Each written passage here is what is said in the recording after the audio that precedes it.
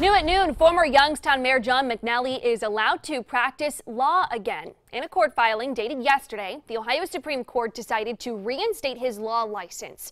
This was after a six month suspension. McNally's license was suspended back in September. It was all based on his criminal convictions in the Oak Hill scandal. Back in 2016, McNally pleaded guilty to four misdemeanors in connection to the purchase of Oak Hill Renaissance Place. That suspension was supposed to last one year, but six months of that was stayed for good behavior.